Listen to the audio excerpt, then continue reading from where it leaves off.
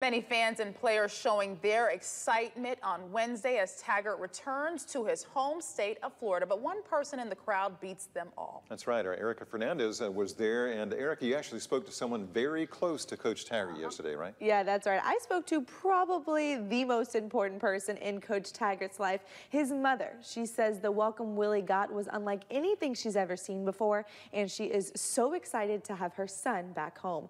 FSU rolling out the welcome mat for Coach Coach Taggart in true Seminole fashion with the marching chiefs and cheerleaders. Coach Taggart brought onto campus with a police escort and he tomahawk chopped his way out of the car. President John Thrasher greeting him as well as a flood of FSU fans and students. Taggart's mom telling me the family making the trip to Tallahassee to see this special moment. To tell you the truth, I had that feeling already know in ways, you know. And then publicity and stuff, all, everybody saying this and saying that.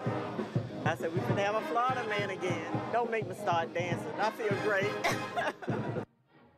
Yeah, she's definitely really excited there. James says she's already stocking up on the Seminole gear and she's ready for the new season to start. But she also tells me she feels like she's always been a Seminole at heart and it's about time that her son made his way back down here. You know what I noticed? Coach Taggart has a nice little bounce He's already got the I swag like going on, right? Swagger. Swagger. Mm -hmm. Already the t-shirts and everything printed up. That's, that's amazing. He All right, thanks for fit that. in well. Thanks.